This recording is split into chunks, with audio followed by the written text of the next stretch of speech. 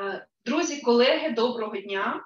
Сьогодні ми продовжуємо нашу роботу в такому просвітницько-експертному колі для того, щоб розібратися з тими питаннями, які в Україні стали критично важливими. Це питання міжнародного гуманітарного права і включеності України в міжнародне правосуддя.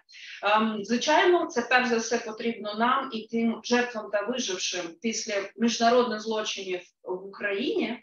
Але окрім цього, ми маємо чітко розуміти, що ми зараз впливові гравці на, скажімо так, еволюційному шляху міжнародного правосуддя для всього світу.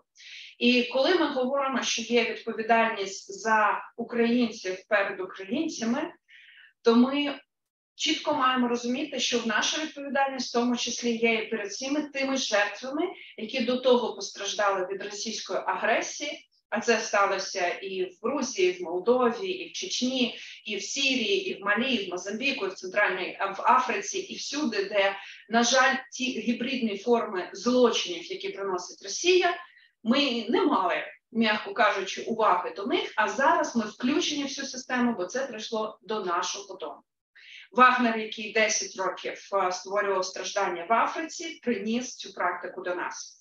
І за за 8 років е, війни до вторгнення, і вже за 510-512 днів, так, в нас е, в з моменту повномасштабного вторгнення Російської Федерації на нашу територію ми з вами стали перед питанням, які саме документи, які саме системи мають бути включені Україною для українців і для всього світу. Римський статут один з основоположних документів, який зібрав практику трибуналів в Газі, трибуналів до того по Руанді, по Югославії, і вся та практика міжнародного правосуддя, яка стоїть за Римським статутом, зараз необхідна Україні. Тож сьогодні ми обговорюємо з нашими колегами з Zoom, з нашими присутніми спікерами тут. Сьогодні в рамках е, тижня міжнародного правосуддя ми обговорюємо саме значимість Римського статуту і те, що нам необхідно для того, для того, щоб не тільки ратифікувати, але імплементувати його роботу в правосуддя українське національне і зараз міжнародна модель, яка е, дуже сподіваємося буде формуватися, в тому числі і в вигляді міжнародного трибуналу. Тож сьогодні наші е, фахівці. Е, щоб не не заплутатися з усіх наших регалій. Спочатку представлю Арія Мора, експерт української е, Legal Advisor Group. Це в нас адвокаційна дорадча група. Правильно? Щось типу такого. Буду рада, якщо трошки трошки мене поправиш. З нами Олександра Сенатова. Олександра.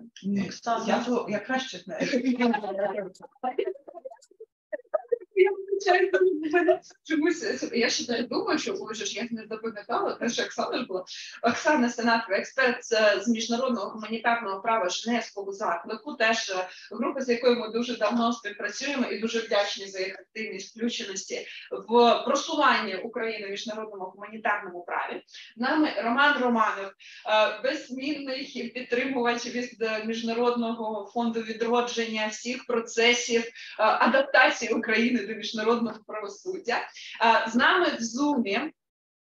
Чудова Катерина Кириченка, програмна менеджерка в Україні, юридична радниця глобальної юридичної фірми Public International and Policy Group. І з нами людина, яка, мабуть, просто вже томи написала е, аналітики і е, публіцистики щодо України і потреби нашої в міжнародному правосудді. Андреас Умлан, німецький політолог, фахівець питань російської ультранацизму та авторитаризму, європейського неофашизму, порівняної демократизації, пострадянської вищої гуманітарної освіти та суспільствознавства. І в тому числі традиційно Києво-Могилянська академія стала вотчиною таких важливих експертів, як пан Андрес.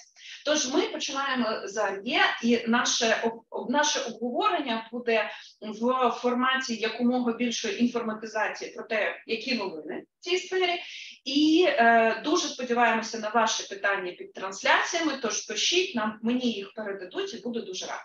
Я Романцова Олександра, виконавча директорка центру громадянських свобод. Сьогодні будемо дербати. Прошу. Вітаю. Так, так. Е, це ок. Моє ім'я завжди, але ми цього не зробили тут. На ім'я нашої організації це така історичний е, розвиток. Мене звуть Аг'є. Е, я представляю організацію Ukrainian Legal Advisory Group або Українська правова консультативна група. Ось воно. Е, нам це нам треба просто краще пояснювати людям, як нас звуть. Е, Ми займаємось правосуддям в умовах збройного конфлікту, і е, міжнародний кримінальний суд і Римський статут це один з таких е, великих фокусів нашої роботи. Ми є членами коаліції за міжнародний кримінальний суд, така велика агломерація, як власне Центр громадянської свободи, багато інших організацій з України. І я думаю, що я пройдусь так по основних напевно моментах, е, що зараз, е, чому зараз не ратифікують, здається, е, і що з цим можна зробити. Дуже коротко, щоб відразу відповісти на це питання, Римський статут ратифікувати треба. Це можна пояснити двома речами. Перше, якщо ми його ратифікуємо, Україна отримує значний буст і покращення у кооперації з міжнародним кримінальним судом в рамках розслідування, яке воно е, веде. Україна отримує е, місце повноцінного учасника е, за е, в системі Римського статуту. і, Відповідно, може брати участь у пріоритизації форму- формуванні бюджету, у, у виборах суддів, у виборах прокурора, у виборах е, канцелярії і голови канцелярії суду, може брати участь в обговоренні щодо того, які власне питання на порядку денному МКС мають бути і як він має функціонувати. Це важливо не тільки з точки зору ось цих дуже насправді корисних е, інструментів, які е, часто ми оминаємо і кажемо, ну це щось таке механістичне, да, як сказав пан е, Дмитро Кулеба. Ми де-факто вже є да, членами Римського статуту, але ми були на асамблеї країн-учасниць і бачили, як делегація України там була лише спостерігачем. Вона не мала можливості виступати на асамблеї країн-учасниць повноправно, не мала можливості брати участь у формуванні бюджету, у обговоренні того, як він має формуватися у всіх інших цих аспектах. Тому це важливо раз. Друге, це важливо ще й тому, що Україна, яка зараз, зокрема в рамках системи міжнародного кримінального суду, займає достатньо таке пріоритизоване місце. На нас багато виділяють ресурсів, але саме на нас, а не на всю систему Римського статуту і міжнародного кримінального суду. Було б від неї, від нас очікують е, того, що ми будемо демонструвати е, те, що називається комітмент, те, що ми будемо демонструвати наше бажання посилювати систему міжнародного кримінального суду. А найкращий спосіб посилити систему МКС це доєднатись до цієї системи, щоб показати, що це легітимний суд.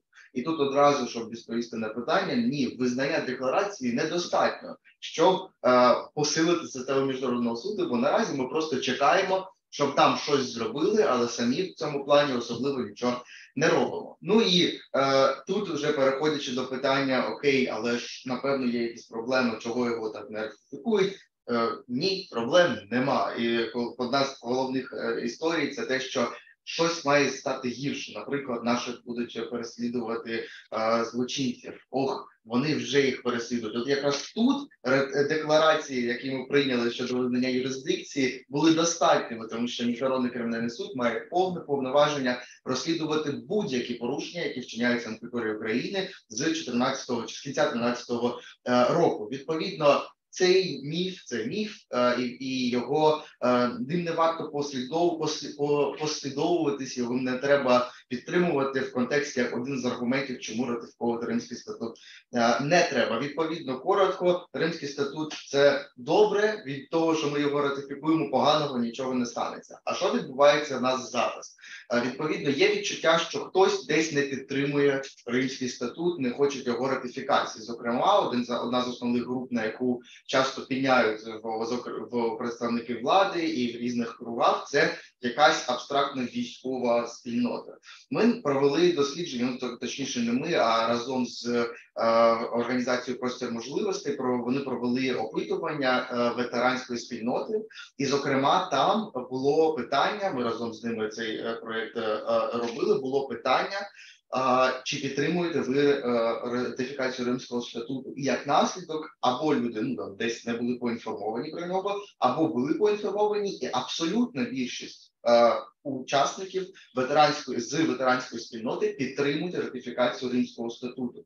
Так само ми провели національне опитування аж два в вересні і в грудні минулого року. І переважна більшість людей, яких ми опитували, ті, які знають щось про римський статут, переважна їх більшість підтримує ратифікацію Римського статуту і вважає, що це ок. Відповідно, хто саме проти ратифікації, поки що не дуже зрозуміло. Однак ратифікації наразі немає замість ратифікації в нас є спорадичні рішення. Це е, за внесення змін до кримінального процесуального кодексу, як спроба е, в якимось чином е, налагодити співпрацю з міжнародним кримінальним судом, але Римський статут не дозволив би вибіркового вибіркової кооперації, а от такі зміни у кримінальний процесуальний кодекс дозволяють, наприклад, вказати у примітці, що цей розділ про співпрацю з міжнародним кримінальним судом України розповсюджується лише на дії, які вчинені особою з метою вчинення збройної агресії України е, збройної агресії Росії проти України. Відповідно, вони фактично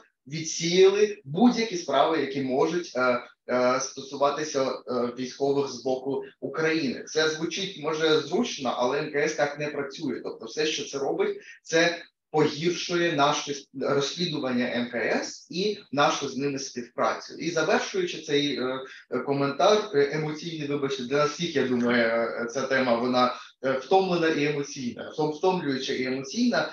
Е, ці е, такі спроби зам'яти, якось залатати е, прогалину, яку створює нератифікація, вони здебільшого ось такі ну неефективні, і найважливіше зараз це зробити ось той достатньо ефективний пуш, щоб наша влада, щоб представники нашої влади або як мінімум вийшло на відвертий діалог з будь-якою групою, що не хоче ратифіковувати римський статут, або е, якщо такої групи насправді немає, чи вона якась специфічна, побачили, чому це все ж таки важливіше ніж невдоволення певної е, цієї групи, і для цього нам потрібна підтримка як суспільства, потрібен чіткий запит, так і міжнародних партнерів, які є одним з тих, хто забезпечує реалізацію рішень е, в нашій країні сьогодні. І не забуваємо, що Римський статут один із пунктів нашої угоди про асоціацію з Європейським Союзом, в тому числі. Дякую величезний виступ. Пане професоре, пане е, Андрія Сумлан, е, чи чуєте ви нас, будь ласка? Да, Альоночка, закріпи, будь ласка. Так, пане професоре, до вас. Переходимо, будь ласка, розкажіть ваше бачення, ви як фахівець з України і наших відносин е, з міжнародним правом, грубо кажучи, так е, розкажіть, будь ласка, як ви бачите зараз ситуацію з потребою Римського статуту і які складнощі в цій взаємодії з МКС? Прошу. Ну, я тут скоріше скажу як політолог, і е, юристи серед вас можуть, е, мабуть, щось таке більш конкретне сказати. Е, мені здається, це вся проблема. Вона просто одна із варіацій ем, такої більшої проблеми ем, так званого монізму або дуалізму в доктрини міжнародного права. права. Тобто, ем, е, ну багато з вас, мабуть, знає, що монізм говорить про те, що е, міжнародне право є частиною внутрішнього права.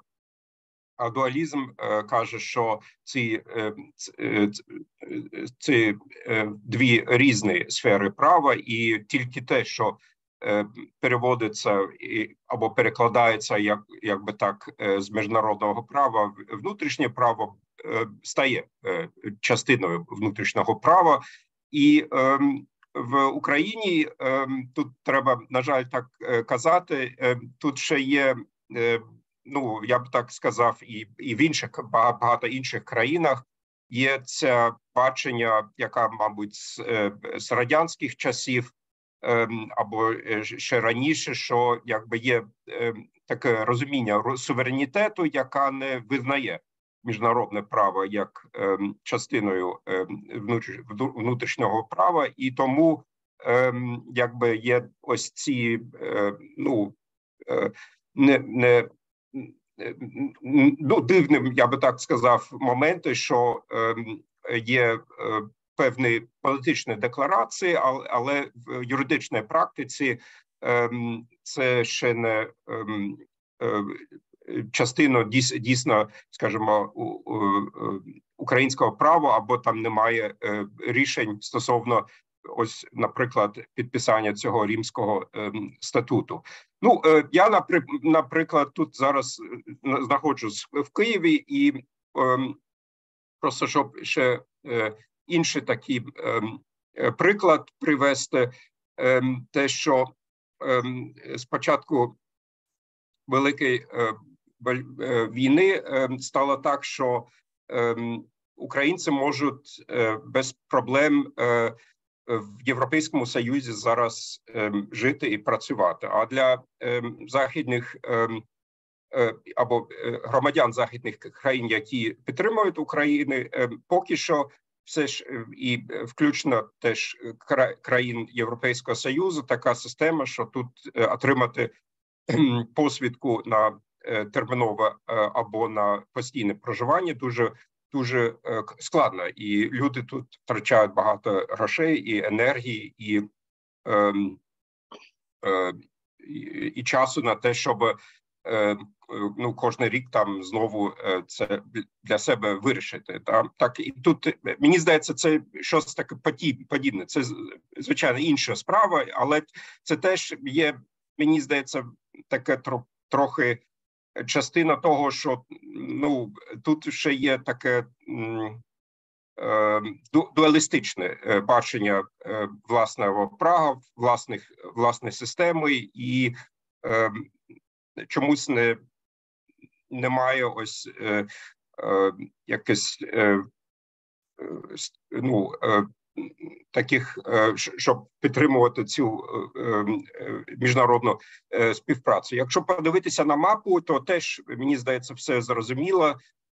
Всі країни Європейського союзу підписали Римський статут. Грузія, Молдова підписали Римський статут, і одна така країна, крім ще там Білорусі і і Росії, в Європі, як якщо вважати цих країн теж частиною е, е, Європи, вона вона не не підписала. Це дивно виглядає. Теж дивно виглядає, що е, е, ну.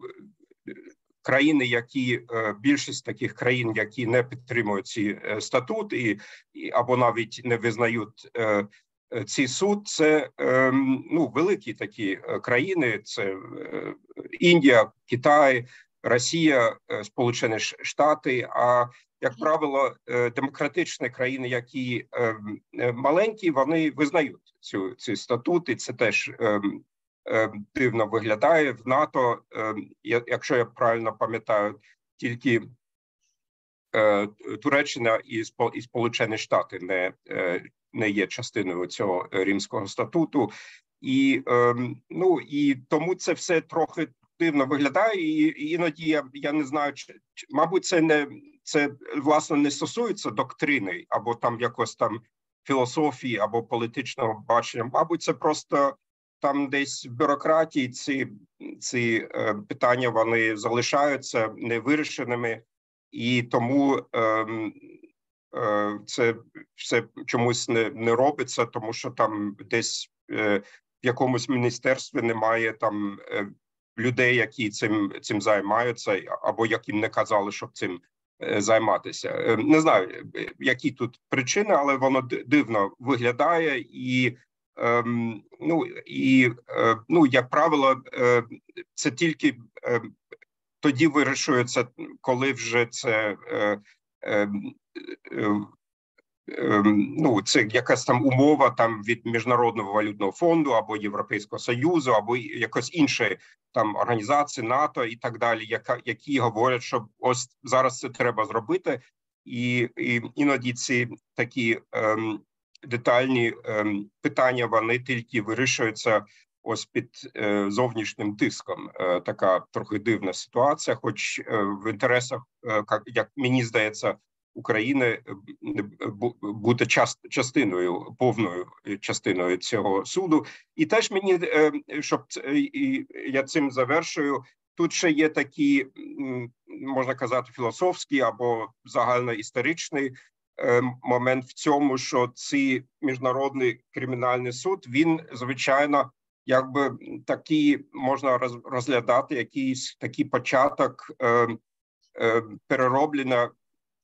всі е, міжнародної системи. Тобто, якщо б цей суд е, дійсно став е, потужним і ефективним, і так далі, то це буде вже е, можна казати новий світ, тому тому що тоді ця ось анархія міжнародної системи вона стане менше, і ну я думаю, теж в такому можна сказати сказати метастратегічному плані. Це теж в інтересах України, щоб ну всі світ став більш урегульований.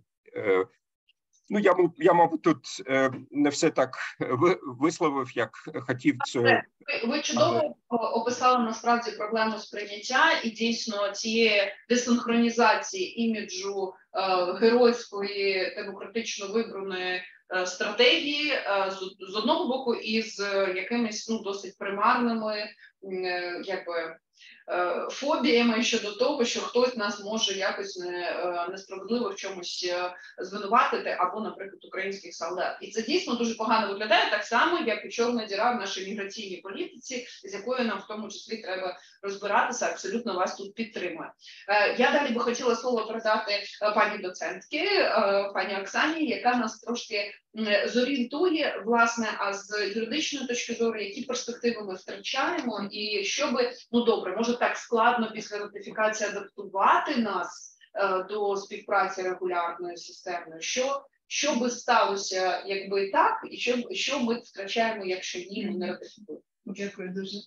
Е, ви знаєте, коли я починала працювати над своєю дисертацією в 98-му році, присвячена міжнародному кримінальному процесу, е, я думала, що це щось буде далеке від України і ніколи сюди не прийде.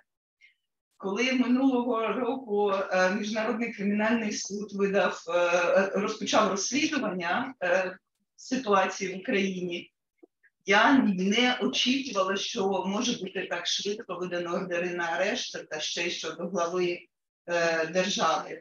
Тому прогнози з мене поганий. Я буду давати е, аналіз поточної ситуації.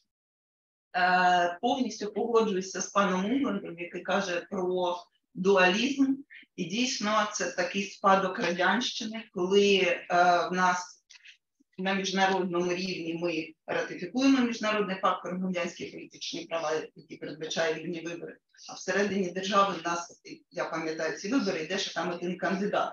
Тобто паралельні реальності, які не перетинаються, хоча насправді міжнародне право має працювати всередині. І дійсно, на жаль, е, чистої комуністичної системи не існує сьогодні в світі, але країни, які визнають примат міжнародного права, є. Е, якщо ми будемо, ну, наприклад, Бельгія, Нідерланди, в них примат міжнародного права, мені б хотілося, щоб Україна була серед коло таких держав. Коли ми е, говоримо про е, ратифікацію е, Римського статуту, то для мене дивно дійсно, чому ми так пасемо задніх в цьому відношенні. Палестина довго билася за те, щоб взагалі їй дозволили ратифікувати Римський статут. Е, і як тільки така можливість в неї з'явилася після того, як її визнали державою учасницю, не просто спостерігачем, е, державою спостерігачем, а не просто спостерігачем в ООН, вона одразу це зробила і одночасно подала заяву про визнання юрисдикції адхок, так, так само, як ми зробили за статтею 12.3 Римського статуту, тобто ми визнали юрисдикцію щодо поточної ситуації конкретно. Насправді в такому визнанні в подачі таких заяв є свої переваги. Нас часто думають, що це ну, якісь щось щось куце, щось, що не працює. Насправді це нормально працює. Більше того, саме така подача такої, таких заяв, таких декларацій дозволяє ретроактивну дію е, юрисдикції суду. Тобто, якби ми просто ратифікували, то, наприклад, через за сьогодні ми ратифікуємо, юрисдикція суду почнеться через 60 днів після цієї ратифікації. І все, що було з 2014 року, не підпаде під юрисдикцію суду. Тому це добре, що ми подали ці заяви, не слід критикувати е, цю можливість. Плюс це активувало, як ми бачимо, нормальну юрисдикцію суду щодо України. Вона така сама, як звичайна е, е, звичайна ратифікація, окрім тих недоліків, про які говорив пан Ар'єш. що ми в цьому контексті, в цьому середовищі держав, ми виявляємося якимись на лаві запасних. Це стосується в першу чергу нас, але ми не гравці на цьому полі. Ми присутні і ми не можемо нас, наш голос не звучить.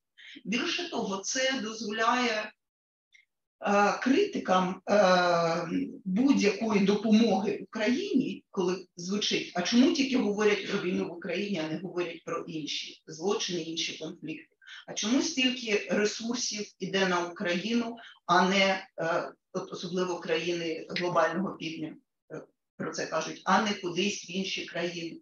І тут в нас немає козирної карти, яку ми можемо покласти на стіл. Нам легко можуть закинути. Ви навіть не ратифікували Римський статут Міжнародного кримінального суду. Е, плюс тут можна згадати ще й наші зусилля по створенню трибуналу щодо агресії, я маю на увазі щодо переслідування. Дійсно, юрисдикція Міжнародного кримінального суду, по-перше, не є універсальною.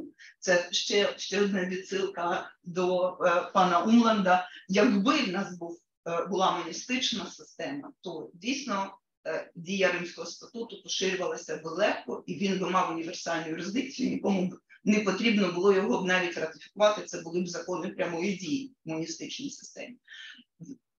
На жаль, не погодилися, були пропозиції створити це, але, на жаль, не погодилися. І на сьогоднішній день юрисдикція Міжнародного кримінального суду така, що або на території держави-учасниці чи держави, яка подала спеціальну заяву, або якщо громадяни держави-учасниці вчинили злочини на території державної учасниці. Тобто таке певне поєднання територіального принципу і принципу громадянства. Але щодо юрисдикції по агресії, немає взагалі у цій нашій ситуації, немає взагалі в міжнародного кримінального суду ніяких можливостей.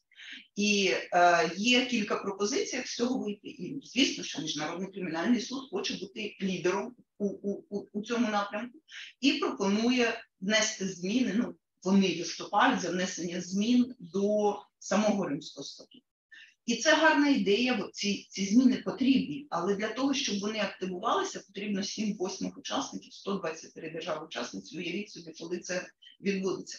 Але ми повинні бути тут піонерами. Це повинно бути наші, наші зусилля. І щоб просувати ці зусилля, ми повинні бути нормальною країною, учасницею Е, асамблеї держав-учасниць з повними повноваженнями з голосом, коли ми про це можемо говорити. Е, тепер, е, що би я хотіла ще сказати? Про говорили ми про ці ордери на арешт. Чи можуть чи може ратифікація якось змінити, посилити їх дії? Насправді, чесно скажу, ні, тому що вони вже видані, і це юрисдикція Міжнародного кримінального суду 123 держави-учасниці зобов'язані заарештувати е, главу е, Російської Федерації, якщо він приїде на їх територію. Чому я була така скептична щодо того, що МКС може видати такі ордери арешт? Бо в анамнезі ми маємо е, понад 10 чи скільки років, коли Амар Аль-Башир, президент Судану, на той момент діючий, відвідував конференції в африканських країнах, і його ніхто не заарештовував. Після цього навіть було рішення апеляційної палати е, Міжнародного кримінального суду щодо Йордану, е, Йорданії. І е, політика МКС була такою, що е, краще не видавати ордер на арешт, який ти не можеш реалізувати, для того, щоб потім МКС не закидали, що він неефективний суд. Я розумію, в них свої інтереси, вони вони хочуть також виглядати як ефективна інституція, як ефективна міжнародна організація. Тому отака видача ордерів на арешт, коли ми ну, будемо реалістами, да, ну не настільки це реально заарештувати главу держави. Але ми бачимо позитивні зрушення від видачі таких ордерів на арешт, тому що е, вже президент не поїхав на саміт е, в Південну Африканську Республіку на БРІКС. І е, ми розуміємо, що це це вже обмежує. Більше того, посилилася певна, це це не завжди на такому верхньому рівні, коли всім про це відомо. Наприклад, після видачі цих ордерів на арешт почалася комунікація між омбудсменом України і омбудсменом Російської Федерації е, Москальковою. До цього вона буксувала і її не було. Сьогодні вона ну, мінімальна, але вона існує. Ем, Марія Львова Білова заявила, що всі діти вивезені на реабілітацію. Е, в Краснодарський край, вони будуть повернені. Тобто, це, це ефективний механізм для захисту прав людини. Насправді і міжнародних фінансів, і видача цих ордерів на арешт. Хочу трошечки, якщо дозволити, торкнутися ще міфів, які існують. Ну, от, по-перше, ще пам'ятаю, в 16-му році обговорювалася ця ідея, на всяк випадок скажу, бо є ті, хто думає, що це можливо. Що ми не ратифікуємо, тому що це в розмови, тому що ми зможемо відкликати оці заяви, е, які ми подали адхок. Це неможливо для МКС, це відкликання, навіть якщо ми це зробимо, воно нікчемне, тому що він буде діяти згідно з Римським статутом. Там немає процедури відкликання. Ти можеш вийти, будучи державою-учасницею. Тут, до речі, ще одна перевага бути державою-учасницею, це, звісно, потребує певного терміну на набуття чинності. Але на весь термін, поки ти була, все одно Да, але- юрисдикція. Абсолютно. Тому е, е, ну, це неможливо. І більше того, сьогодні, як ми будемо виглядати, якщо ми будемо робити якісь оці, е, е, е, оце ленінське танго, крок вперед, два кроки назад. Е, Що стосується ще одного міфу, е, про е, те, що добровольчі учасники добровольчих батальйонів українських будуть переслідуватися міжнародним кримінальним судом, тому що вони, мов, е, в певний період часу не були комбатантами. Я, як от фахівець з МГП, одразу вам скажу, вони були комбатантами. Більше того, комбатантами були навіть ті, які цивільні особи, які в момент вторгнення, саме в момент вторгнення, виходили е, проти це так зване левеан мас, тобто вони в цей момент стають комбатантами на короткий проміжок часу вторгнення. Більше того, навіть коли цивільні беруть безпосередню участь, таке поняття безпосередньої участі в воєнних діях, е, певна, певна концепція, то це не є злочином. Це не воєнний злочин, за це міжнародний кримінальний суд не буде переслідувати. Вони стають, вони втрачають захист як цивільні, вони можуть бути напряму атаковані, вони можуть переслідуватися, але вони захист не втрачають. І відповідно це, це такий міф, який ну абсолютно не, ніякої не має під собою ніякого підґрунтя. Щодо поточної ситуації, дійсно лише минулого року ми внесли зміни до кримінального процесуального кодексу. З 2014 року збройний конфлікт, а ми не могли співробітничати з судом, хоча подали заяви раніше набагато. Тобто це теж паралельна реальність і той дуалізм нашого підходу, нашого мислення. Е, Зміни до кримінального кодексу. Насправді скажу відверто, е, ратифікація Римського статуту не вимагає внесення змін до матеріальних норм. Це право держави. Внести зміни в процесуальні норми, так, уможливити співробітництво. Але як важко працювати нашим е, право, е, органам правопорядку, тому що стаття 438, хоча і дякувати Богу, містить оцю бланкетну норму і відсилання, яке уможливлює переслідування на основі е, існуючого міжнародного гуманітарного права, але це треба бути фахівцем в цьому контексті. Тому внести змін це дозволити е, органам правопорядку реалізовувати е, е, їх роботу ну, в нормальних умовах, до яких вони звикли, а не покладати на них цей тяжкий тягар. Допоки в нас, я теж реально дивлюся на речі, і допоки в нас не буде внесено змін до кримінального кодексу, потрібно докладати максимум зусиль для того, щоб провести роз'яснювальну роботу і для суддів, вона вже слава Богу зараз ведеться, і для органів правопорядку, І для прокурорів. і для прокурорів І для в першу чергу, тому що судді, як адвокати вислов, тому що судді будуть обмежені тими обвинуваченнями, визнати не зможуть їх, навіть якщо вони знають, як має бути, вони обмежені, тому це з самого нижнього рівня має бути. І ви абсолютно правильно згадали адвокатів, тому що що не як е, е, нормальний захист є е, е, відображенням trial, відображенням справедливого судочинства. Пані Оксано, дякую величезно за, за такий глибинний аналіз. І е, хотіла би передати слово е, пану Роману, е, директору програми правосуддя і права людини е, фонду відродження. Ем, ми дійсно дуже давно з вами співпрацюємо стосовно цієї е, не тільки ратифікації, але і імплементації, в тому числі норм міжнародного гуманітарного права в нашу реальність юридичну, правосудну. М, Як ви бачите цей процес? Що, що можливо нам, як правозахисникам, і нам, е, як експертам, варто було б щось робити? Е, Дякую. Ну, по-перше, е, достатньо багато всього робилося, робиться, і я думаю, що правозахисні організації тут точно є в авангарді цієї суспільної дискусії завдяки в тому числі вам, вона не згасає. Да? Ми постійно намагаємося, щоб вона не втрачалася із поля зору. І я думаю, що останнім часом це стає навіть ще більш актуальним, тому що ми бачимо, що української влади основним спікером з питань ратифікації Римського статуту е, виступає міністр закордонних справ, і це ще раз підкреслює. е, Оце трошки таке радянське ставлення, да, що це міжнародне право, це от для назовні. Е, У нас є спікери, у нас є питання внутрішнього порядку денного і є зовнішнього. І якщо питання е, міжнародного кримінального права, гуманітарного права, е, прав людини у нас це зовнішня адженда, то це, вибачте, Радянський Союз. Тому ну, нам треба е, перш за все розуміти, що нам цей совок треба вбити і подолати. І тут я думаю, що ну саме правозахисники це, це ті люди, е, які мають це відчуття, розуміння да, і докладають до цього зусиль. Що не може так бути, що у нас права людини і міжнародне право це питання зовнішнього порядку денного, за який відповідає Міністерство закордонних справ. От ні. А другим, е, у нас зараз е, якби стейкхолдером таким важливим виглядає от часто те, що ми офіційно чи неофіційно чуємо, що от от військові, от вони проти, треба з ними домовитися і тільки тоді приймати якісь рішення.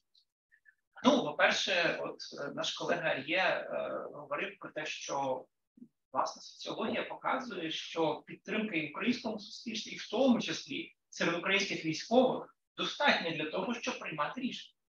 Якщо йдеться про якусь керівну ламку, то в такому випадку, е, знаєте, це дуже погано, коли політичне керівництво приймає рішення щодо військових операцій. Ми всі знаємо, що ні в якому разі не треба, щоб цивільні люди, які наділені владними повноваженням, да, допомагали від армії, коли треба наступати, коли треба відступати, і коли що робити. Для цього є військові.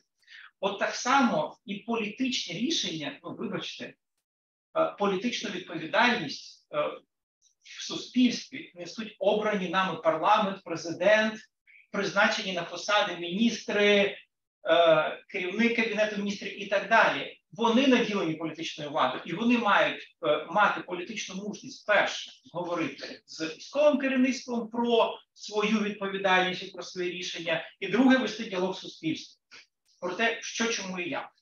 Але в цьому випадку, в принципі, він не є таким складним цей діалог з суспільством, тому що ми знаємо, що суспільна підтримка достатньо висока, того що Україна має бути повноцінним учасником цих процесів. Тепер, якщо е, провести певну паралель з, е, з правозахисним рухом і правами людини, розумієте, права людини виникли на ідеях солідарності, причому міжнародної солідарності.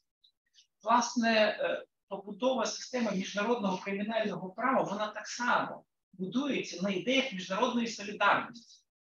Тобто не можна очікувати солідарності до себе, якщо ти не є учасником клубу, який поділяє спільні цінності і готовий говорити мовою солідарності з іншими. От я думаю, що правозахисники це ті люди, які найкраще це розуміють, що воно тільки так, правда? Так. Якщо нам не резонують е, е, брутальні порушення прав людини в інших країнах, то ну навряд чи можна очікувати увагу до себе, навряд чи ми можемо покладатися на міжнародні механізми, навряд чи ми можемо очікувати міжнародної солідарності. А власне весь глобальний правозахисний рух він на цьому побудований, правда? От в цьому випадку Римський статут це не просто якийсь документ, е, до якого приєдналися і забули. Тобто він системоутворюючий на сьогоднішній день. Ми говоримо про систему Римського статуту. Тобто це певна еволюція, яка відбулася. Це певна еволюція, яка вже охопила 123 країни. Тобто немає інших механізмів і інструментів, які мали би ну, настільки широке універсальне визнання. І коли ми почали дискусію про той самий трибунал про злочин агресії, ми зрозуміли, да, що знайти солідарність на рівні понад 100 країн, учасників Організації Об'єднаних Націй, це доволі непросто. Система Римського статуту має це визнання. І стояти осторонь і говорити, «Е, так, нам потрібні от, от, от тут не підходить, от тут ні, от це так. приватичні рішення, та не да. Е, Ми так солідарність не здобудемо. ми не будемо визнані власне учасниками процесу. Ми говоримо про процес. Нам не потрібен набір вироків там, чи нам набір цих арест ворентів, правда? Ми говоримо про справедливість. Справедливість це процес. І от, власне, е, нам потрібно діалог про справедливість. Нам потрібна солідарність, яка побудована на справедливості. Мені дуже імпонує е, комунікація нашого президента про формулу справедливого миру. Але єдина біда, що вона спрямована зовні. Тобто, мені здається, що про принципи справедливості було би дуже і дуже важливо говорити зараз з українським суспільством з тому, які інструменти досягнення цієї справедливості ми б хотіли бачити.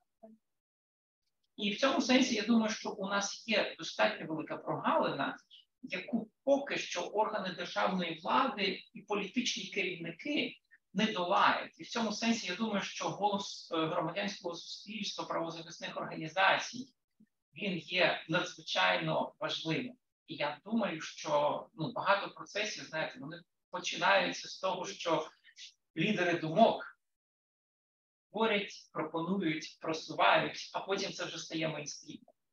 Я думаю, що зараз такий час, коли ну, власне цю роль мають брати на себе е, правозахисники, правозахисні організації. Ну і за великою вони зроблять. Можемо сперечатися, чи цього достатньо, чи це ефективно, але це відбувається. От, власне, я думаю, що е, в ніякому разі не можна поменшувати важливість цієї роботи, навіть якщо вона не дає негайних результатів.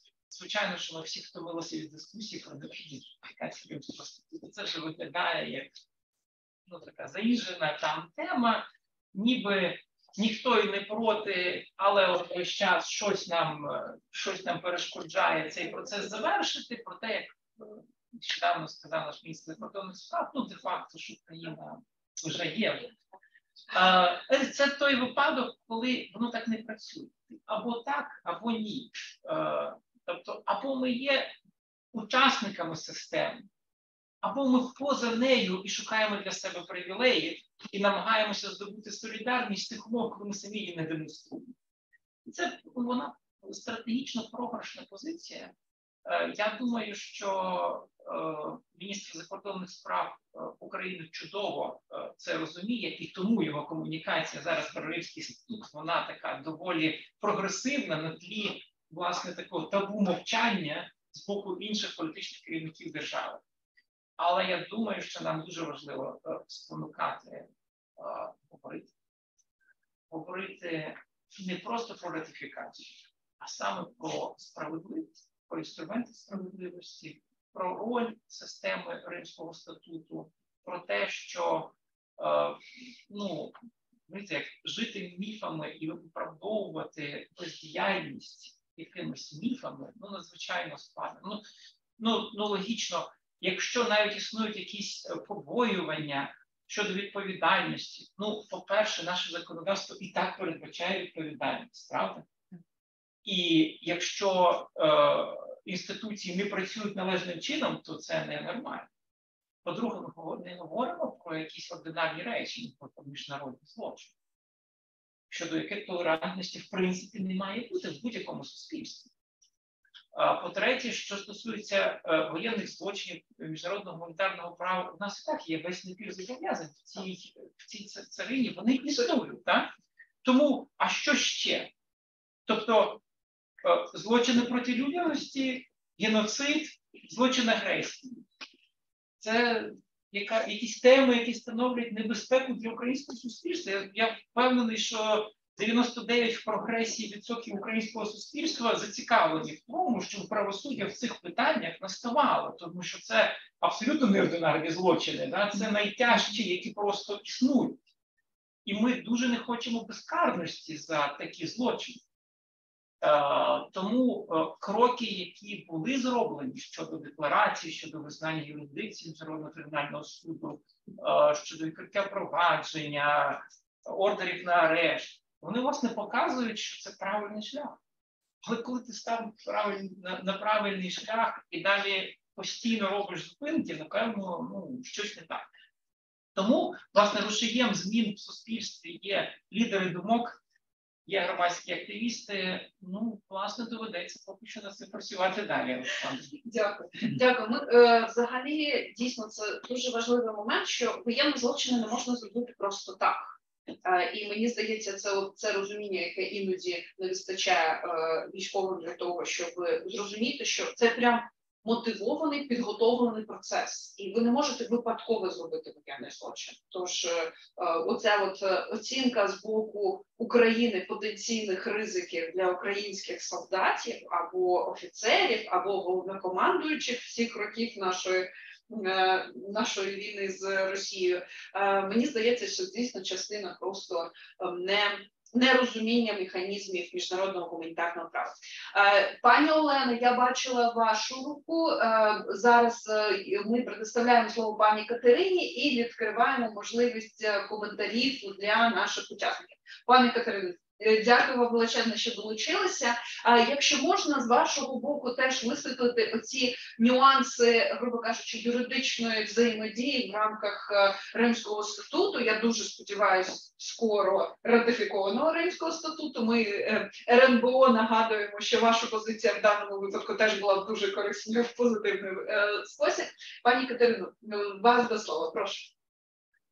Дуже дякую, пані Олександро, і дуже дякую команду е, Центру громадянських свобод за запрошення на цей захід і за організацію цих важливих дискусій в рамках тижня міжнародного кримінального правосуддя. Ем, маю за велику честь сьогодні брати участь в дискусії поряд з такими поважними спікерами. Трошки буде важко говорити наприкінці, так як були озвучені дуже багато важливих тез, дійсно, які треба було озвучити. Тож е, хочу доповнити кількома такими важливими моментами. Ем, хочу наголосити, що я буду говорити, намагатися говорити з точки зору також ем, як міжнародного співтовариства, так як е, представляю міжнародну юридичну фірму. Втім, я українка, тому мій виступ буде такий гібридний, і деяка позиція буде більш ем, з точки зору мене як українки також. Тобто, спочатку хочу повернутися до основних юридичних засад, як здійснюється співпраця України з міжнародним кримінальним судом зараз. Треба зазначити, що на сьогоднішній день власне Україна вже повністю взаємодіє з МКС і без ратифікації Римського статуту. Як це було здійснено? Це цей механізм дозволяється е, Римським статутом, а саме е, статтею 12, частиною 3 е, Римського статуту йдеться про визнання юрисдикції МКС державою, яка не ратифікувала Римський статут. Власне, саме цим положенням Україна і скористалася, подавши дві заяви від Верховної Ради, які сьогодні вже згадували спікери, про визнання юрисдикції МКС заяви відповідно 2014 і 2015 років. Е, потрібно зазначити, що лише ратифікація Римського статуту не гарантує співпрацю з міжнародним кримінальним судом. Тобто тут позиція з двох боків. Крім власне ратифікації, необхідні законодавчі зміни на національному рівні для налагодження і е, створення цієї співпраці. З точки зору України досить багато змін вже було зроблено. Було внесено зміни в кримінальне процесуальне законодавство для урегулювання всіх положень і для створення умов для того, щоб МКС міг проводити розслідування, щоб слідчі МКС могли ем, збирати докази на території України, здійснювати обмін доказів. І, власне, результатом офісу МКС в Україні нещодавно, що є досить таким унікальним е, унікальною подією в сфері міжнародного правосуддя. Крім України, е, дотепер МКС відкривав е, свої офіси лише в шести містах світу. Тож хочу наголосити, наскільки безпрецедентним є це досягнення. Також ем, співпраця зараз здійснюється досить активно. МКС самостійно ініціював провадження, МКС надсилає своїх слідчих і прокурорів регулярно в Україну, і е, здійснюється повністю обмін інформацією та доказів. Тобто Україна взаємодіє з МКС вже І виникає колізія. Для чого ж нам потрібно ратифікувати Римський статут, якщо по суті співпраця вже здійснюється? Тут важливим моментом є те, що крім оцих обов'язків, які Україна на себе вже взяла, внесши зміни в своє законодавство, Україна все ж таки не має прав повноцінного учасника Римського статуту, так як не є ратифікантом Римського статуту.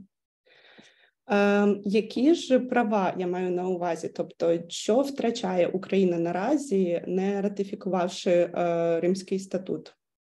Вже зазначав, здається, пан Ар'є вже зазначав, що деякі ці моменти, що, по-перше, якщо Україна ратифікує Римський статут і стане повноцінним учасником, то вона отримує повне право, наприклад, участі в роботу в роботі суду, право делегування своїх кандидатур і прокурорів, і право голосу під час обрання кандидатур.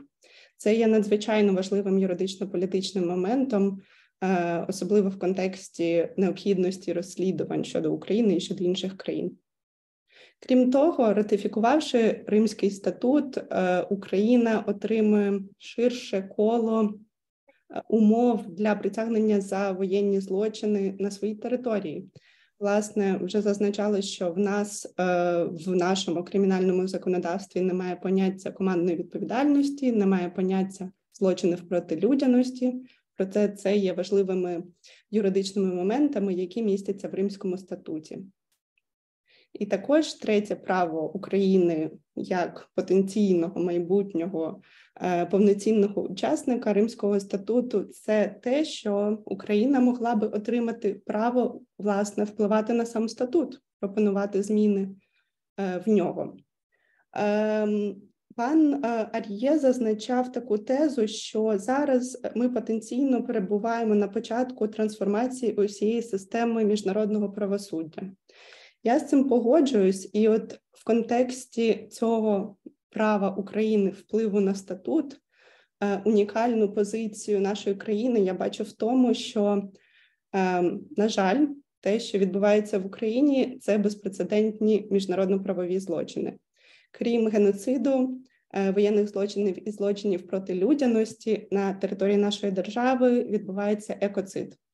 Екоцид це такий міжнародний злочин, щодо якого дискусії ведуться весь час. Наразі він не входить в перелік злочинів, які переслідує МКС. Втім, в рамках асамблеї країн-учасниць регулярно з 2018 року починаються дискусії щодо необхідності додання цього злочину, як так би мовити, п'ятого злочину поряд з тима трьома, що я назвала і агресію до Римського статуту, так як екоцид, очевидно, становить надзвичайно важливе значення для всього людства, всіх країн. На жаль, так як в Україні екоцид вже здійснюється, і крім, власне, я думаю, те, про що всі подумали, це підрив дамби на Коховській ГЕС. В нас також здійснюється дуже широкомасштабне винищення унікальної флори і фауни, наприклад, на Кімбурській косі, в острові Джерелгач Херсонської області. Тож, Україна, ставши повноцінним членом Римського статуту, мала б всі підстави і всі докази здійснювати, так би мовити, адвокацію про додання злочину екоциду до юрисдикції Римського статуту МКС, до юрисдикції МКС. І цим, власне, мати такий унікальний вплив на міжнародний правопорядок, на взагалі підхід людства і підхід юридичної спільноти до злочинів, які криміналізуються. Е, Наразі е, злочин екоциду, головні е, такі країни, які підтримують додання цього злочину в Римський статут, це невеликі острівні держави, як Вануату, Мальдіви, і їх підтримують деякі країни, як Франція, Бельгія і так далі. Втім, Україна, маючи такі широкомасштабні докази, могла би внести дуже серйозний вплив в реформування і в додання цього злочину в радар міжнародної спільноти. І е, також хотіла б зазначити про певні е, перестороги або, так би мовити, страхи і міфи щодо того, які, е, на жаль, е, є в Україні щодо нератифікації Римського статуту. Вже зазначалось, що досить часто ці страхи е, ну, не мають такого юридичного підґрунтя, і вони в основному є наслідком якоїсь дезінформації, нерозуміння юридичних тонкощів і так далі. Е, пані Оксана торкалася цього в своєму виступі, що е, є така думка, яка іноді буває поширена, що якщо Україна ратифікує Римський статут, то МКС зможе переслідувати українських солдат за, начебто, воєнні злочини. Ну ем, хочу зазначити, що ем, по-перше, мкс не цікавлять поодинокі воєнні злочини. Це стосується вищ, вищого керівництва військово-політичного. Ем, по-друге, звісно, МКС працює за принципом комплементарності, тобто Україна є правовою державою, Україна компетентні органи України здійснюють розслідування щодо можливих воєнних злочинів, які здійснюються включно з нашими солдатами. Тобто, це не є юрисдикцією МКС зовсім, це перекручена інформація. Е, і останній пункт це, звісно, те, що МКС не буде розглядати фейки. Е, МКС це така досить велика поважна інституція, яка Е, не буде розглядати випадки, якщо, наприклад, з боку Росії буде поданий подана дезінформація. Тобто, на мою думку, потрібна певна інформаційна кампанія для того, щоб оці от фейки і оці от думки, які іноді бувають, ем, проскакують в інформаційному полі щоб вони сприймалися широким нашим суспільством як власне абсурд. І е, взявши це все до уваги, ми можемо побачити, що ратифікація Римського статуту, звісно, необхідна. Е, питання в тому, чи це потрібно зараз. Я думаю, що це не є критичним. Відтермінування ратифікації можливе, можливо, після закінчення, після перемоги України, після закінчення повномасштабної війни, після пророблення певної роботи щодо інформаційної кампанії і так далі. Тобто, по суті, е, співпраця вже здійснюється, ратифікація все ж потрібна. Просто питання, коли саме це треба зробити. Дуже дякую. Дякую, пане Катерино. Дякую особливо за те, що е, нагадали про необхідність розвитку дійсно міжнародного кримінального права в. По відношенню до нових видів злочинів, екоцид зазначений в національному нашому законодавстві, але дійсно його в міжнародному праві нема, і тут ми можемо бути повноцінними лідерами цього процесу. Це правда. Окрім цього, є існують ще е, потенційні кібервійна, яка відбувається зараз між е, фактично Росією та Україною і напади, і намагання знищити наші бази е, державні. От уявіть собі завтра, грубо кажучи, ми проснулися, і всі наші паспорта не дійсні, бо унікальні номери просто знищені в базах, які атакувала вже Російська Федерація, і цих злочинів так само не описано. Е, на жаль, зараз ніде, або, наприклад, нова новий розновид е, фактично захоплення цивільних е, з зміною їх статусу, викривленням, вивезенням їх на територію Російської Федерації, тобто купа того, що Росія е, вчинила, і зараз Україна вже могла би це привнести в міжнародне гуманітарне право, але не маємо голосу, бо не маємо підписаного ратифікованого е, Римського статуту. І це дуже дуже такі дійсно важливі аспекти. Тож е, ми втрачаємо на цьому свої можливості. Я хотіла би звернутися до наших учасників. Я бачила від пані Олени Чернової запит на те, щоб долучитися а, до нашого обговорення. Пані Олено, прошу. Якщо можна представтесь, будь ласка, як ви стали працювати з темою Римського статуту і представляєте, якщо організацію, то яку? Доброго дня, колеги. Мене звати Олена Чернова. Я адвокат, а також тренер е, освітніх програм Української гельсінської спілки. Дуже дякую за таку можливість е, висловитися з приводу е, причин, що перешкоджають нам ратифікувати Римський статут. Я б хотіла спочатку, ну не спочатку, а все ж таки сфокусуватися не на перевагах ратифікації Римського статуту, а на все ж таки причинах, саме на темі нашої дискусії. Перше, що перше, на моє переконання, першою причиною це є незнання, чи точніше, недостатнє розуміння нашим вищим політичним керівництвом е, тих можливостей, можливостей, що відкриває для нас ратифікація Римського статуту.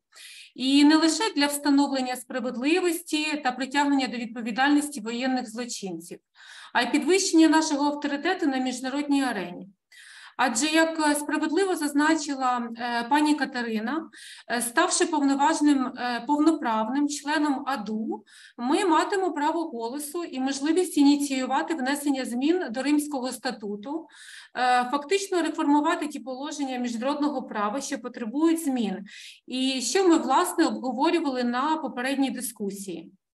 Е, також е, це відкриває можливість е, певного доступу до країн-учасниць, які поки що не на нашому боці, і такими, скажімо, дипломатичними кроками мотивувати все більше і більше країн ставати на бік правди, добра і справедливості в боротьбі з тотальним злом, яке несе в собі кожна агресія, і не лише агресія Російської Федерації. Друга причина, колеги, ну давайте будемо не такими дипломатичними тут, а більше об'єктивними і називати речі своїми іменами. Е, друга причина, на моє власне переконання, це Небажання брати на себе відповідальність, певна пасивність, можливий страх перед е, негативними наслідками для себе, як от втрата там посади, яка подобається через певні можливості подорожувати, спілкуватися з міжнародними колегами, чи бути дотичними до створення чогось нового, важливого, як от трибунал по агресії.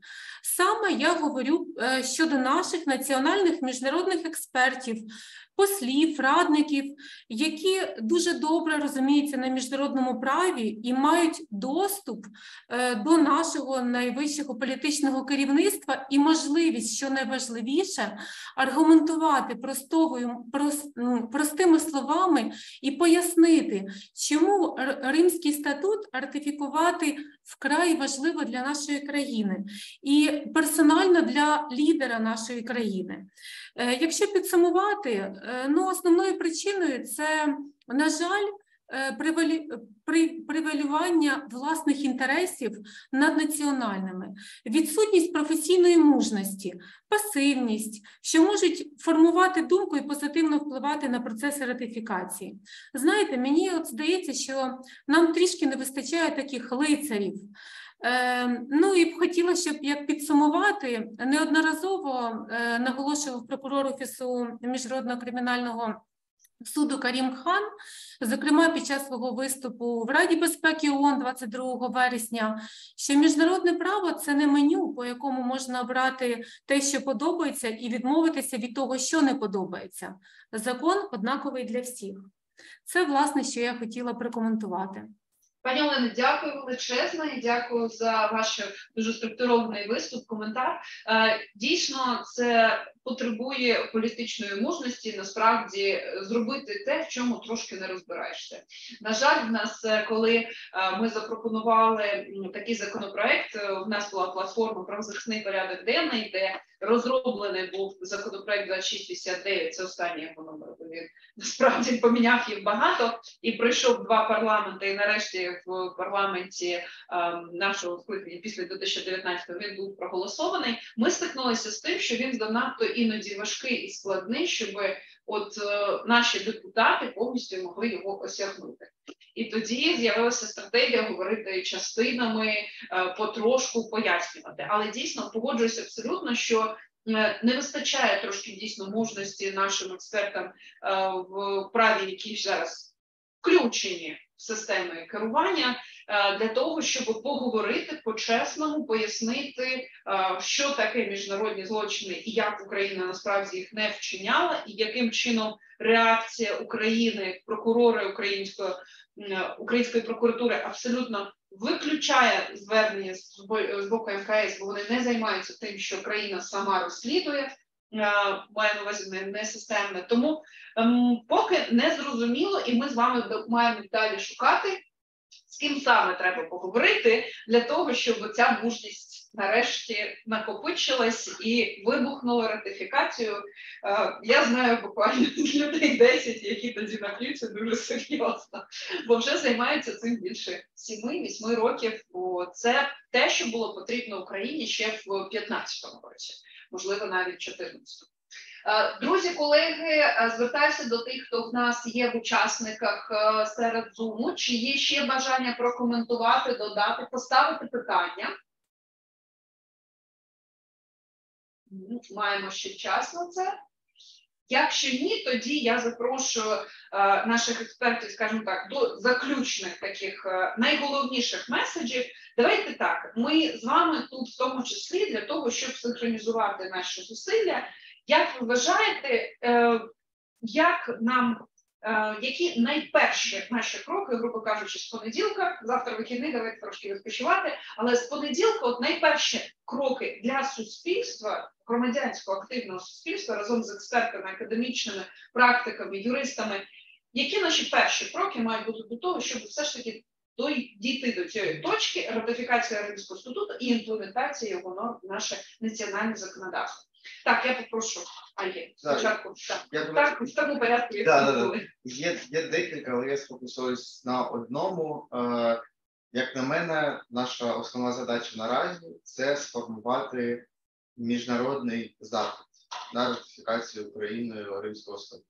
Е, Бо е, з того, що ми спостерігаємо, на жаль, ні наявність суспільного запиту, ні наявність запиту з боку громадянського суспільства вони не є суттєвими факторами, достатньо суттєвими факторами для е, представників влади, щоб власне е, дійсно прийняти таке вольове рішення, чомусь воно виглядає якимось дуже складним, да, просто ратифікувати да, е, римський статут. А, І тут е, нам здається, що мати сильний блок країн, які вже будуть не Просто вічливо запитувати. Так, а що, ж там, да, як там справи, да, що є статут, а як ви там, да. Е, а, а власне ставити це питання більш е, чітко і е, ну не різко, але достатньо серйозно. Е, те, Це те, що може наблизити нас з більшою ймовірністю до до ратифікації. Тому основна одна з наших задач це адвокація з метою е, формування такого реального запиту, бо кожна зустріч, на якій ми збираємось, і тут дуже важливо, ЄС є одним з ключових акторів, які мають впливати на Україну, зокрема, тому що це є частиною угоди про асоціацію, і тому, що Європейський союз має бути зацікавлений в тому, що країна, яка потенційно до нього залучиться, була членом е, системи Римського статуту, бо всі члени Європейського союзу ратифікували Римський статут. І відповідно, коли ми з ними часто зустрічаємось, всі вони відповідають, що ми говоримо, ми питання завжди піднімаємо. Але питання, напевно, в тому, як ви його піднімаєте, да? як ця дискусія ведеться. І зрозуміло, що є певні е, є певні обмеження щодо того, наскільки жорстким можна бути, щодо того, які умови умови можна ставити. Однак, очевидно, що рівень дискусії і е, переговорів, які є зараз, він є недостатнім, тому що відтягувати ратифікацію так можна дуже довго. Дякую, е, дякую тобі, е, пане Андрес. Ви з нами, пане професоре? Так, так. Ваша Щас, я з вами. Да, що має бути в цьому плані е, по пушингу ратифікації Римського статуту? Яка, який обов'язковий крок? Я теж думаю, що цим можна і треба вже зараз займатися. Там чекати кінця війни, не знаю. Е, ну мені здається, чим швидше це вирішити, тим краще буде для України. І я погоджуюсь, що, мабуть, шлях до того це не прямий е, там звертатися там до політиків або до президентської адміністрації або Верховної Ради, а мабуть, це е, це шлях знову ж буде через якісь там західні е, посольства або через е, делегацію Європейського союзу, через я не знаю інші там якісь міжнародні організації, які важливі для України, які можуть прямою поговорити там з Зеленським або там з парламентарями про те, що ну це треба зробити, і е, ну тобто більше я тут теж не можу казати. Це вже ідея вже була сказана. Я я тільки це можу підкреслити, що що мабуть це буде найефектив, найефективніша найефективніша стратегія. Ну і аргумент, звичайно, може бути, що е, цей суд вже зараз е, Путіна е, зробив ізгоєм міжнародним, і це великий аргумент має бути для ну, того, щоб на, нарешті ратифікувати статут. Дякую, дякую, пане Андрес. Як само? Ну, насправді ми тут зібралися ще до виходу в ефір, і обговорювали, чи хто знає взагалі, в чому причина. Ніхто не знає причини. В експертному середовищі ніхто не знає, де цей камінь спотикання і де він існує. Е, Здогадується, звісно, все суспільство, і експертне я маю на увазі суспільство, але ніхто не знає. І мені це трошки оце відсутність е, е, знань завжди нагадує, колись проводилося вже давно таке журналістське е, е, розслідування чи інтерв'ю брали в людей і питали, чи хочете ви українці, щоб Україна стала членом НАТО? Всі ні, бо боронь, військовий блок, агресивний, все. І тут же в цих же самих українців питаються, як ви дивитеся, якщо Україна стане членом організації Північно-Атлантичного договору? Ну, стане. Чому ні? І от в мене таке відчуття, що корінь зла в тому, що ніхто не знає суті на рівні е, осіб, які відповідають за політичну волю. Тому я абсолютно підтримую пана Ар'є, що повинно ставитися питання рубо десь на рівні е, міжнародного спілкування. Але, мабуть, і знизу повинні з grassroots level повинна йти це з експертного середовища, повинна йти роз'яснювальна робота і намагатися з'ясувати, що не що не зрозуміло, і як пояснити, що немає чорного чорного в чорній чорній кімнаті. Все прозоро, все світло і все зрозуміло. І і все вже вже підписано. Вже вже все підписано, вже все працює юрисдикція. Тому я я навіть для себе не ніколи не знаю відповіді, чому Україна не ратифікує. Я не знаю, я завжди кажу, я не знаю. Сподіваюся, що ми з'ясуємо найближчим часом. Тобто, в нас е, мотивація зовні і і дуже конкретна перевірка, чи всі е, в, так розуміють да, оцю, оцю потребу в нашому керівництві, е, в політичному, військовому, державному цілому. Дякую, пане. Ну, у мене кілька пунктів. Перше, знаєте, я е, брав свого часу участь в якихось експертних дискусіях, де були люди, які висловлювали свої думки, чому ж все-таки ця ратифікація нам нашкодить. І, як правило, ці аргументи зводилися до двох, на мою думку, взаємовиключних. По-перше, це абсолютно неефективний суд, який нічого там не може, ніяких результатів не показав. І другий аргумент, який наводиться одночасно, але це загроза для наших от, військових і так далі. Ну тобто боятися неефективного інструменту не дуже зрозуміло як якщо він неефективний, то чому він загроза? От, а якщо він реальна загроза, то чому ж тоді він неефективний? Ну тобто ніхто сильно не замислювався над взаємовиключністю цих аргументів, але от вони всі е, якось ретранслювалися, ретранслювалися постійно. Е, я думаю, що останнім часом е, ну, робота принаймні офісу прокурора міжнародного кримінального суду показує про те, що ну складно говорити про неефективність, оскільки достатньо за короткий проміжок часу зроблено достатньо багато. Відкриття проваджень так багато часу пройшло. Да, Ми маємо вже а, певні повідомлення, певні ордери на арешти, відкриття офісу і так далі. І так далі. Я думаю, що це перший чинник, який в тому числі стабілізував цю точку зору в українському суспільстві, що говорити про неефективність, ну, напевно, передчасно, як мінімум. Да? І що власне пріоритети, які на сьогоднішній день ми бачимо в його роботі, вони теж трошки інші, ніж ті опасіння, які тут панували. Тому перша передумова це все-таки продовження ефективної роботи прокурора і максимально ефективна відкрита співпраця з боку українських органів розслідування. Що відбувається справді на сьогоднішній день, і можна сказати, що це правильний крок, який треба продовжувати. А друга річ, ми, я думаю, що теж трошки применшуємо свої досягнення. Ну, от ті соціологічні е, опитування, які е, проводилися останнім часом, показують, що все таки в Україні не можемо говорити про повний консенсус, але переважно більшість українських громадян в різних прошарках населення цієї ратифікації, і це вже можна говорити про те, що це успіх, правда? Тобто немає комунікації з боку влади про те, що це необхідно робити, але суспільство в цілому ставиться до цього позитивно. І це дуже добре. А, Інша справа, що ця воля всередині суспільства не може бути трансформована в якесь політичне рішення на сьогоднішній день. Чому? Тому що бракує якогось лідерства в цьому питанні да, відповідального. Ну, напевно, про це треба ще вести роботу і діалог, щоб воно з'явилося.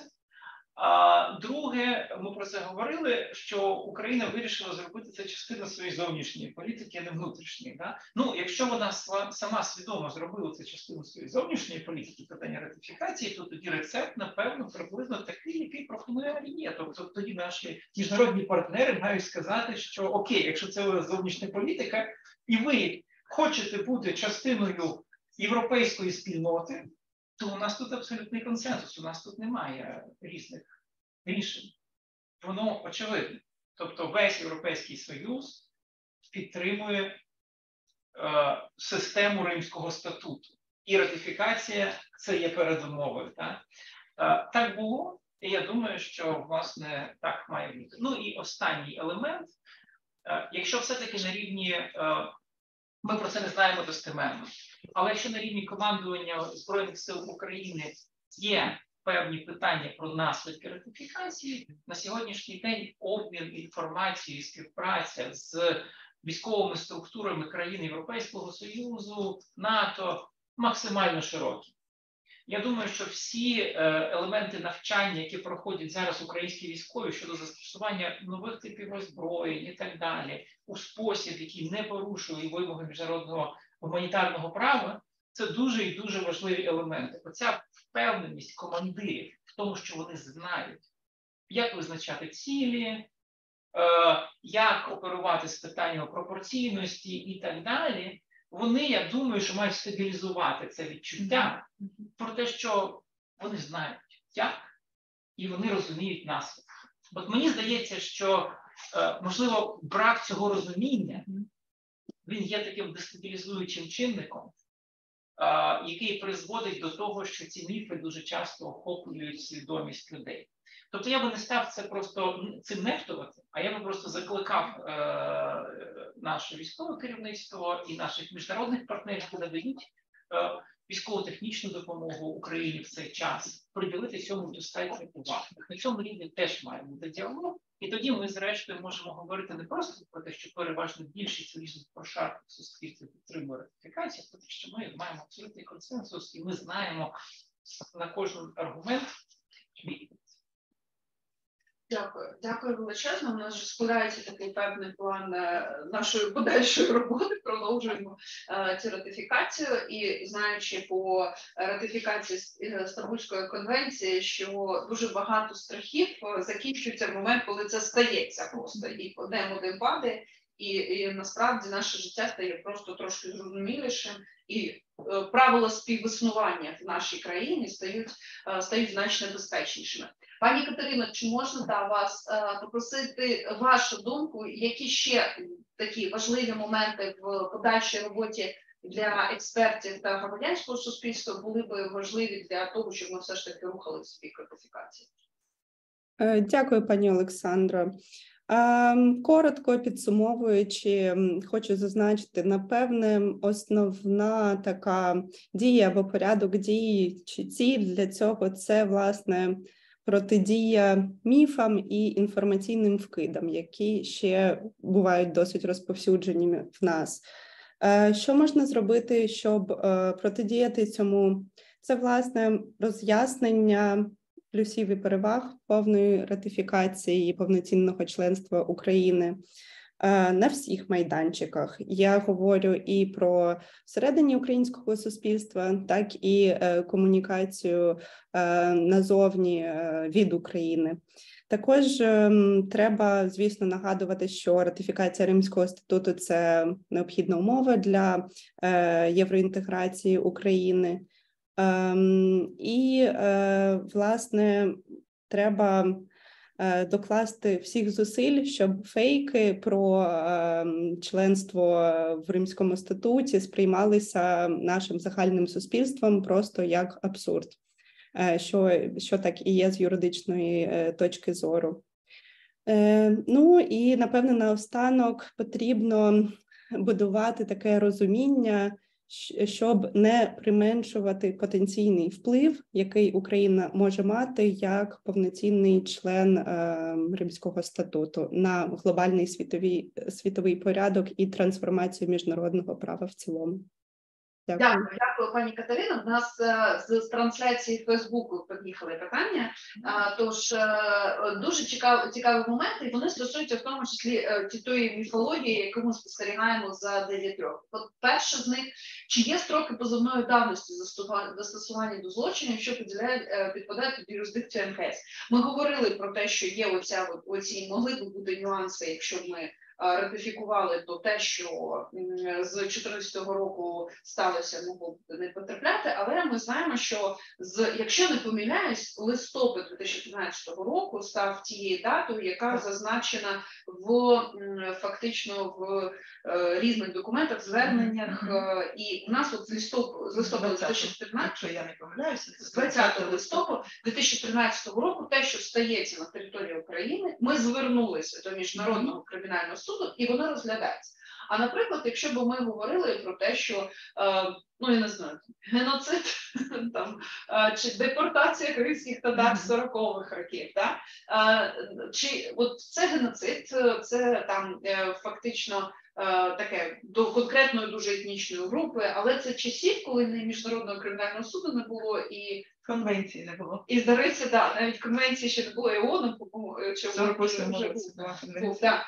Тобто, як взагалі оця, е, оця особливість міжнародних злочинів, да, оце відношення до ретроспективи того, що сталося до того, як ми зробили це нашим національним законодавством, що це за відношення? Давайте трошки от його, якщо можна, Пані я до вас звернусь трошки е, описати, щоб людям простіше було розуміти, що це за такі особливі відношення з часом міжнародного е, міжнародного е, кримінального суду. Е, це дуже дуже гарне запитання. Насправді всі минулі чотири адхок трибунали: Нюрнберзький, Токійський, Югославський, Руандійський, вони працювали в зворотньому напрямку і були створені експостфактум після того, як вже все відбулося.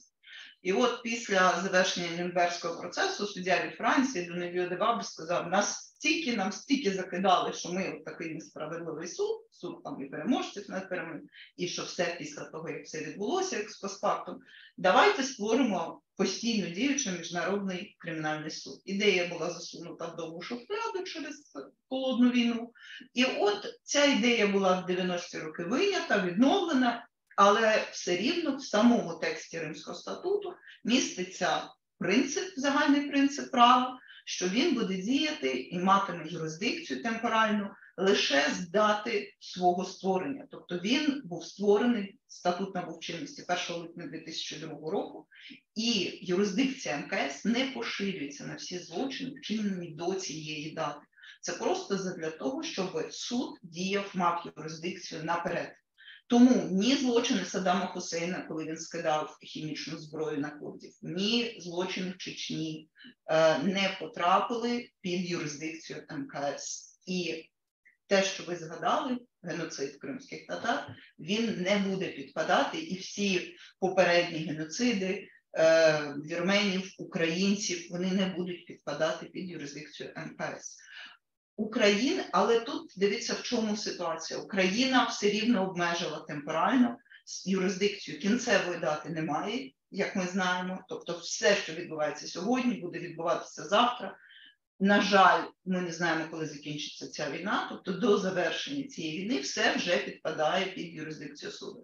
Але першою початковою датою цієї юрисдикції, бо це і є юрисдикція ad для конкретної ситуації, є саме 20 листопада 2013 року. Там дві заяви, але все рівно вони можна сказати об'єднуються в одну ситуацію по Україні. Я нагадаю, чому 20 листопада, в тому числі е, ті події, які сталися протягом революції гідності, ми дуже часто любимо концентруватися на тому, що сталося в Києві. Але окрім цього, е, революції гідності мали євромайдани по всій країні, на які нападали е, активістів, яких незаконно утримували, били декого навіть вбивали. І тому це дійсно це такий. Це був перше звернення, і Євромайдан СОС гаряча лінія, яку координував центр громадянських свобод. 16 тисяч дзвінків, які до нас поступили. Ми підготували один з перших одне з перших звернень міжнародного криміна... до міжнародного кримінального суду, якраз ситуацію по всій країні, не тільки в Києві, де загинули і Ніхаяни Жизнявський, і Юрій. Перепрошую, прізвище збула, в тому числі ще до того, як сталася Небесна Сотня. Тобто, по всій країні люди віддавали е, своє життя за революцію гідності, за те, щоб у нас з вами була чесний, чесний, чесна людина, яка не тільки називається президентом, але виконує цю функцію. Тому 20 листопада е, це фактично початок Євромайданів, які ще до до 30 листопада, до побиття студентів на майдані почалися. Дякую величезно за відповідь на це. Чи воєнний стан впливає на роботу Верховної Ради і на процес ратифікації Римського статуту? Чи може це бути така технічна затримка з цього приводу? Е, так, ні, бо в нас дуже часто зараз люди мають таку міфологію, що воєнний стан міняє дуже багато. Я дуже часто чула, ну мирні зібрання ж неможливі, вони заборонені за воєнний стан. Ні, такого не було і слава Богу, не є.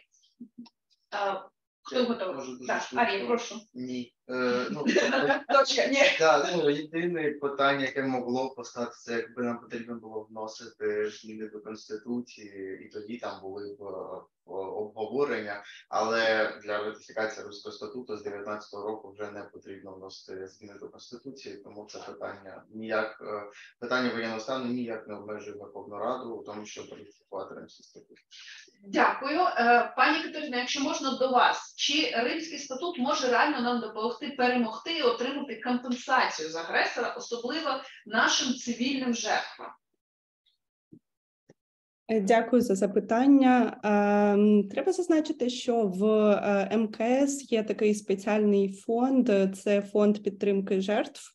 Це власне такий монетарний фонд, куди держави-члени регулярно жертвують гроші, які можуть бути використані на те, щоб е, жертви отримували компенсації за злочини.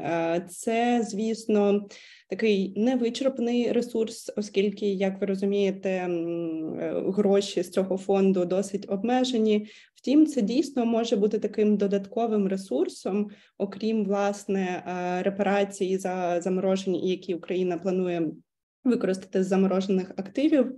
Е, Росії для того, щоб жертви могли отримати компенсації, тому в теорії так. Дякую за запитання.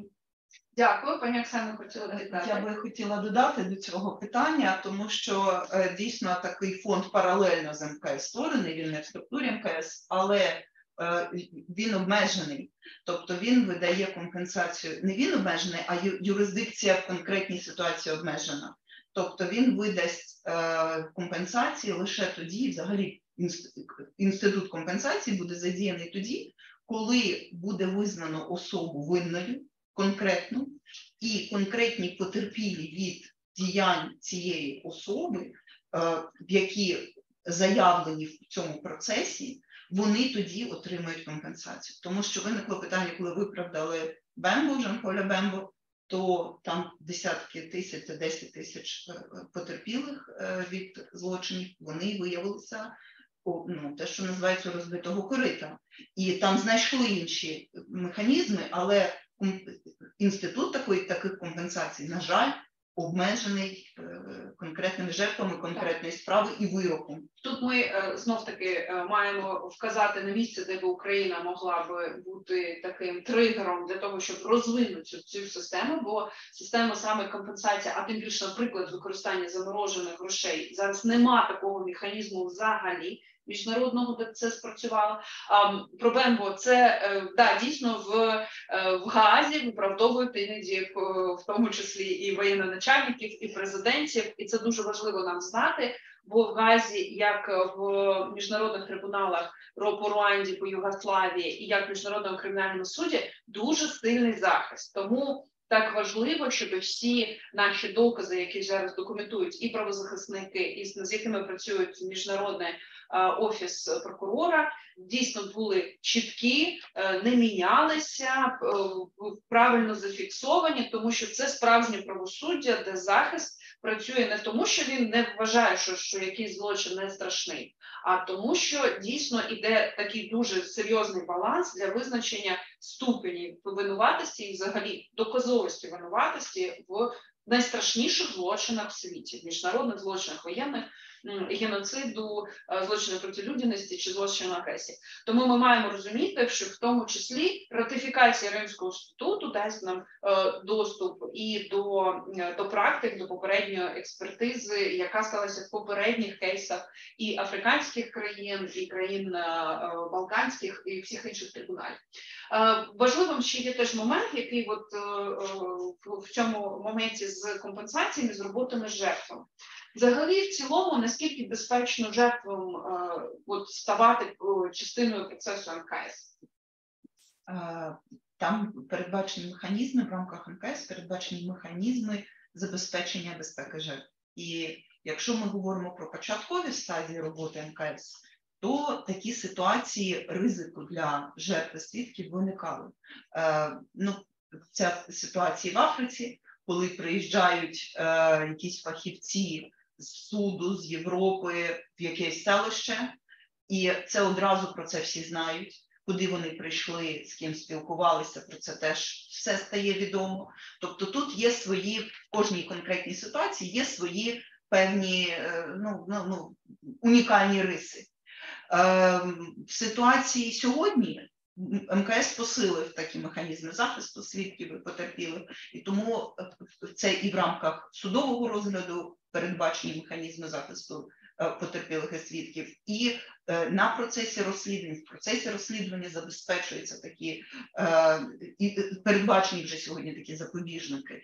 Тому ну, від цього ніхто не застрахований, але насправді система МКС вона на сьогоднішній день еталонна і дуже розвинена. Тому навіть долучення до судового розгляду, як ви сказали, його можливість виправдання є всіх. Як це так? Ну, справедливе правосуддя, воно так працює, Е, тому що, на жаль, тому що справедливе правосуддя передбачає, що не завжди бувають вироки. Це навпаки в радянському Союзі 98 вироків. яка підозрюється, є винуватою, це треба доказати. І абсолютно вірно. Тобто людина навіть може бути винуватою, але і докази можуть зібрані бути з помилками, які будуть не визнані в суді, і багато може бути процесуальних якихось помилок, які не дозволять е, розглядати ці докази як е, як це Тому нам важливо, тому нам важливо бути в цій системі, в тому числі, щоб вона таких помилок не е, е, нам важливо, коли ми будемо в рамках цієї системи, ми зможемо запозичувати ці високі стандарти. Вони будуть для нас, тому що ми не зможемо. Це це ненормально, коли ми тут на на рівні національної юрисдикції застосовуємо одні стандарти, а там вони інші. Тому це все рівно буде призводити до уніфікації цих стандартів і до підняття рівня на національному рівні.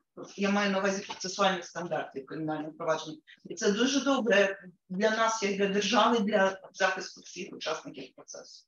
Дякую, пане Андреас. У мене до вас питання. Як ви вважаєте, ратифікація? У нас е, є запитання від е, наших е, глядачів. Що а як як взагалі, от ця ратифікація вона впливає на те, щоб яку відповідальність для політиків вона створює? Як ви думаєте, як ратифікація політично б повпливала насправді на ну, наш політичний клімат в Україні, щоб це привнесло для влади, що є зараз, і майбутніх влад в цілому.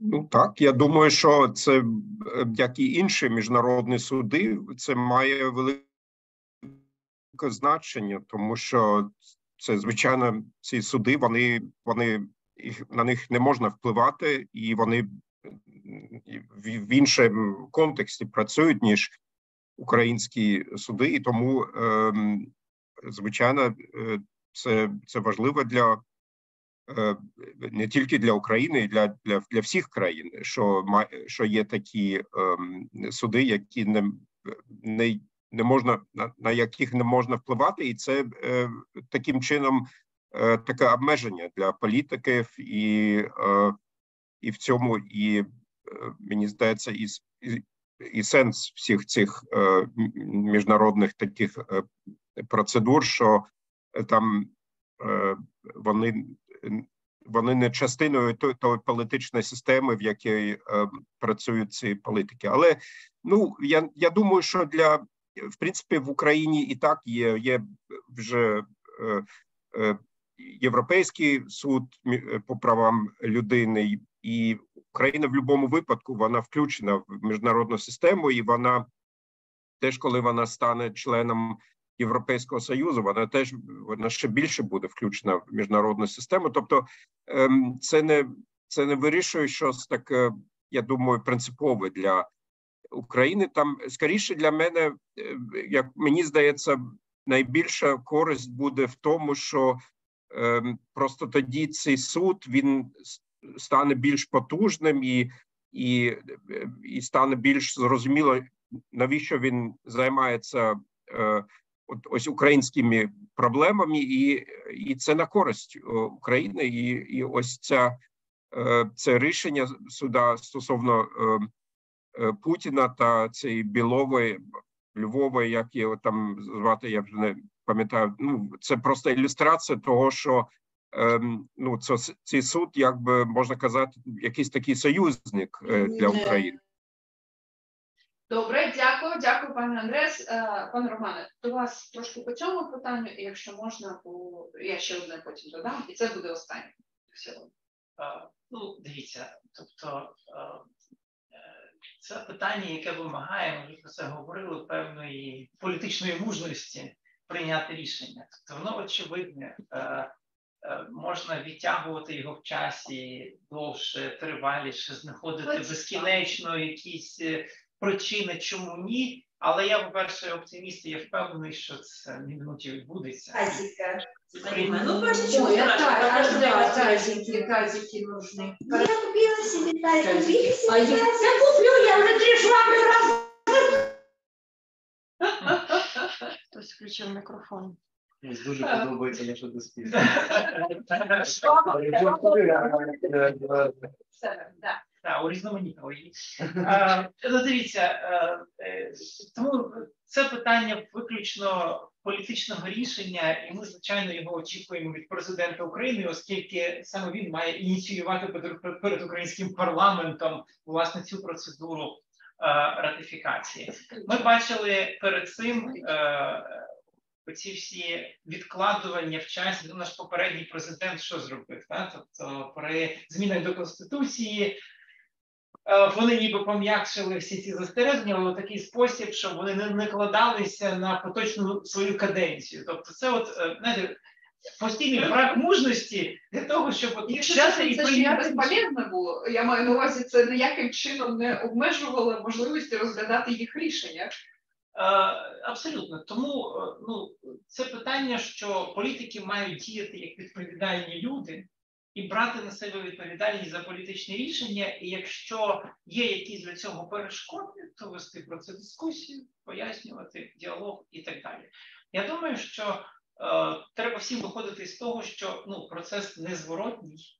Е, він розпочався, він іде, робота міжнародного кримінального суду набирає тільки обертів. Е, треба розуміти, що ну, принцип комплементарності він не для того, щоб там якусь категорію вивести із під юрисдикції суду чи ще щось. Це просто означає, що роль взагалі міжнародного кримінального суду не зробити е, самостійно все домашнє завдання, а насправді допомогти країні та, впоратися з тим величезним викликом. Ми розуміємо, що виклик з точки зору справедливості для України зараз величезний, просто неймовірно великий.